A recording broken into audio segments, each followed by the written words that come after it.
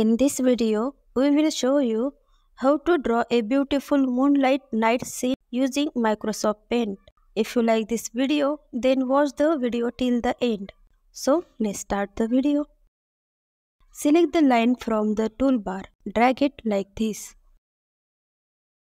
Select the fill tool and fill the area by choose black, dark blue and yellow color.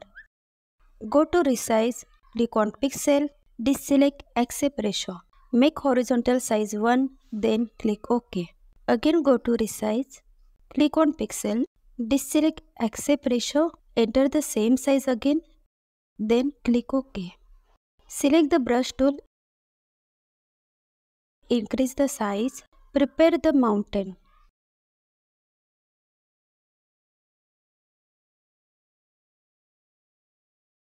Select all, drag to the top side. Click on right button, paste it. Go to rotate, select flip vertical. Drag to the bottom side. Use the circle tool and select white color to draw a large circle for the moon. Draw another circle. Select a solid color from the outline. Fill it with black color using the fill tool. Select the brush and draw a type like this.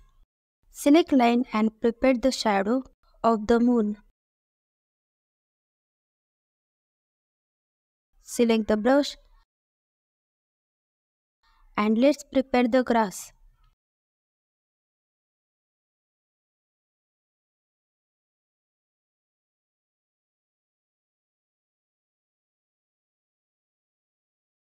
Select the star, use white color and draw the star.